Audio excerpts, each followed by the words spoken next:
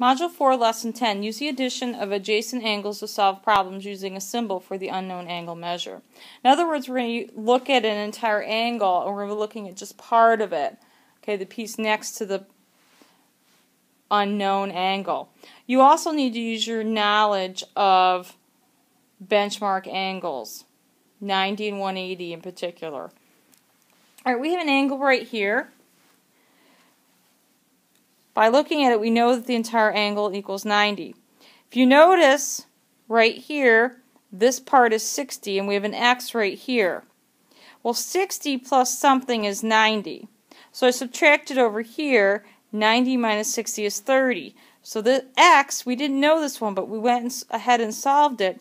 It's 30. Very similar down here looking, I know this entire angle is 90 degrees. I know this part is 30. This part we don't know. So 30 plus something is 90. If we subtract 90 minus 30 is 60. So this one's 60. You probably could have done that in your head, and that's fine. But if you need to write it down, please make sure that you write it down. Okay, let's look on the back we have, you should see, a straight angle, which is 180 degrees. We know a couple pieces, okay, because we know all of this should equal 180. Well, we know this piece is 48, and we know that this piece is 101.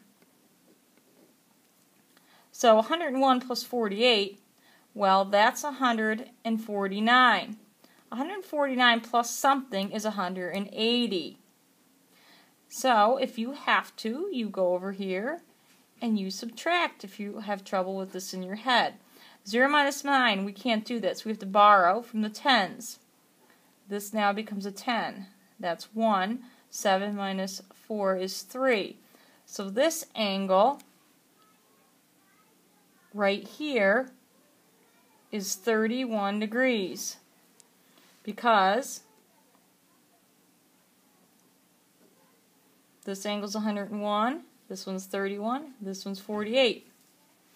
Okay, if you have a shape, right here we have a square. We have a line drawn. We know right here is 15. This we do not know. But when you look here, you can see that that's 90 degrees. So that equals 90 degrees. So 15 plus something is 90. Okay, if we look here, 90 minus 15. 0 minus 5 we can't do, we have to borrow, so that becomes an 8, this becomes a 10. 10 minus 5 is 5. 8 minus 1 is 7. So that is this angle measure is 75. Okay, you can also go through and verify these with a protractor, but your knowledge of angles should be helping you to figure out the missing angle. When you look on your problem set, you're going to see some things that it's very similar. Okay? It says write an equation for and solve for the measure of angle x. Verify the measurement using a protractor. Okay, it's telling you this is a right angle. This piece is 45, this we don't know. So you're just going to fill in the missing angle here and here. Same thing, right angle. This one part is 20. Now you're going to have to fill in all of it here. So you have to put in the angle you know, the angle you don't know, and you know that it's a right angle. So you should know how many degrees that is.